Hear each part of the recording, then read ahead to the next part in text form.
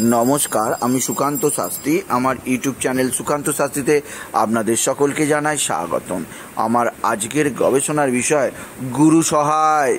দেবগুরু বৃহস্পতির কৃপায় বিপদ মুক্তি ঘটবে, বিপদগ্রস্ত পাঁচ রাশির মানুষদের।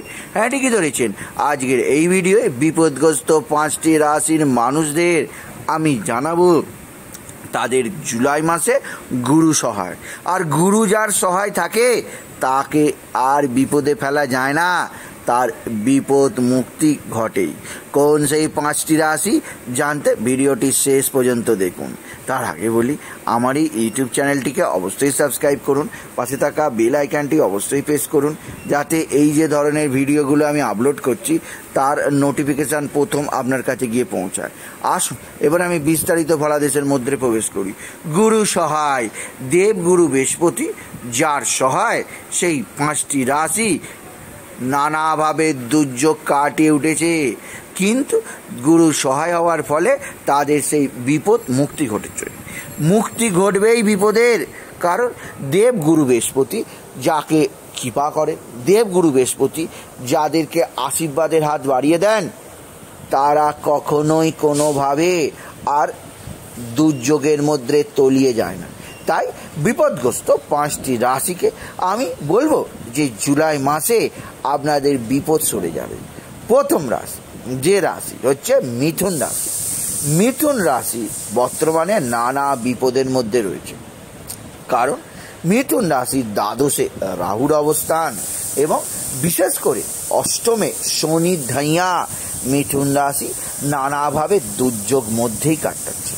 তাদের শারীরিক অস্থিরতা, তাদের স্বজনহানি তাদের প্রেম প্রণয় আঘাত, তাদের সন্তান নানাভাবে খারাপ আচরণ করছে রোজ রোজ। সেই মিথুন রাশিদের আমি ভরসা দিচ্ছি, জুলাই মাসে গুরু সহায়। বৃহস্পতির কৃপায় আপনারা বিপদ মুক্তি ঘটবে। আপনাদের লক্ষ্য করবেন যে ভয়ানক দুর্ঘটনা খুব সাধারণ হয়ে গেল। জীবনে নানা ধরনের দুর্যোগ সেভাবে আর আপনাকে স্পর্শ করল না। আপনি সাধারণভাবে জীবনকে উপভোগ করতে পারলেন, জীবনকে নতুনভাবে গ্রহণ করতে পারলেন। এরপরে দ্বিতীয় যে রাশিটি বলব, সেই রাশিটিও অবশ্যই ধাইয়ার মধ্যে চলেছে, অর্থাৎ তুলা রাশি। হ্যাঁ আপনি তুলা রাশি, আপনি লক্ষ্য করছেন, আপনার গিয়ের মধ্যে যেন এক শনি ঢুকে গেছে, গিয়ে রোজ অশান্তি, রোজ ঝগড়া আপনার মনে সুখ নেই, শান্তি নেই, শরীরে কত কষ্ট। শরীরও সুখ নেই, নানা ব্যাধি আপনাকে জড়িয়ে ধরছে। সেই তুলা রাশি বলব, আপনাদের শনি আর কত কষ্ট দেবে? আর শনি কষ্ট দিতে পারবে না। কারণ এবার গুরু সহায়, দেবগুরু যার সহায় হয়, তাকে কেউ আর বিপদে ফেলতে পারে না। তাই তুলা রাশি, এই জুলাই মাসে আপনাদের জীবন নতুনত্বের দিকে আনবে। কে? স্বয়ং দেবগুরু বৃহস্পতি।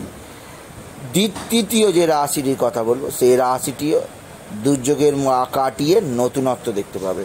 সেটি হচ্ছে ধনুরাশি।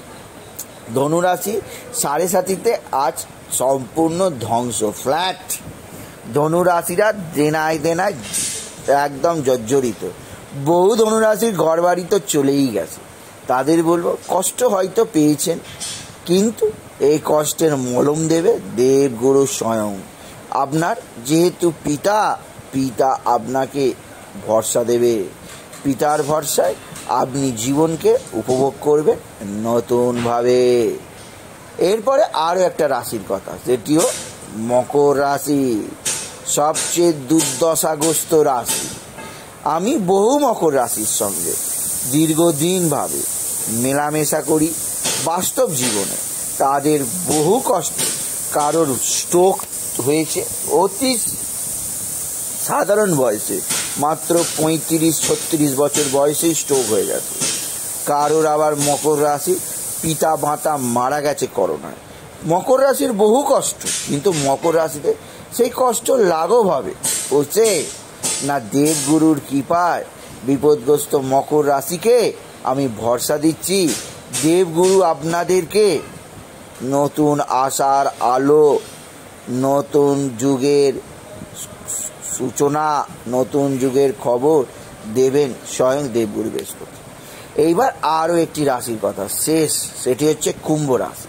শরীর তো ভেঙেই পড়েছে, কোনো কাজ নেই, সব কাজ চলে গেছে। বেকারত্ব এক ভয়ঙ্কর বেকারত্বের কাজ করেছে কুম্ভ রাশিকে।